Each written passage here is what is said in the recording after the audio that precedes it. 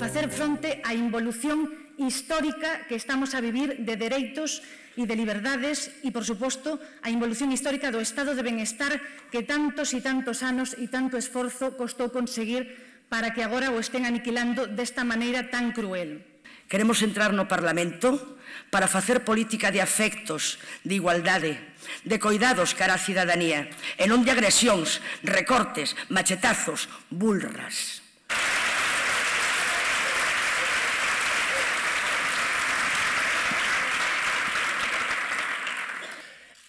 A min un dos discursos que máis me gustou de Beiras cando estaba no Parlamento foi un día que estaba rematando o discurso e, e dixo e vostedes non sei se é que non entenden o que estou a dicir ou que teñen moi mala intención ainda que penso que é unha combinación das dúas cousas. Ese é o problema do Partido Popular hoxe en día.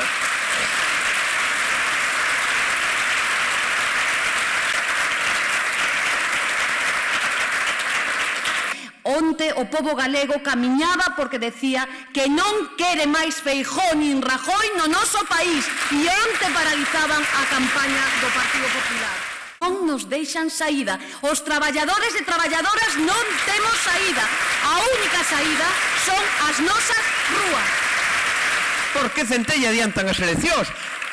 Si total o desgoberno xa o fixeron todo, dixo Yolanda a subversión das institucións de autogoberno limitado que foron foito da conquista de século e medio do oito povo galego con mártires e rebeldes polo medio, con cárceles franquistas, con xenocidio e coas vítimas da Galicia mártir. E ese desgraciado dalle a volta para utilizado contra o goberno, contra os cidadán, contra as nosa identidade, contra os dereitos do común e contra as conquistas históricas.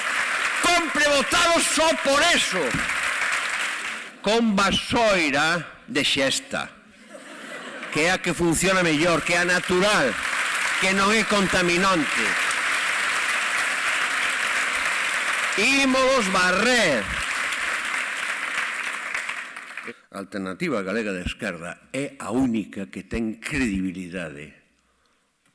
É a única. É fundamental para que se poda na esquerda practicar a ética como fundamento e por diante da política.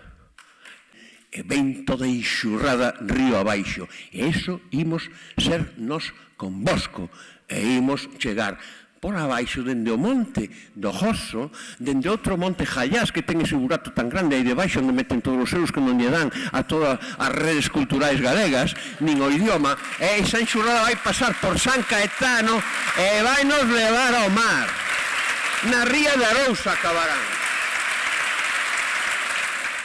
están outra vez sacando a cruzada, están outra vez coas consignas propias daqueles individuos que se o acaso o inferno existise e eles creen que existe e se lles meten o coco van padecelo mentalmente, deberían estar e estarán a bon seguro todos, ainda que sexa só durante eses segundos que dura a transición entre a vida e a morte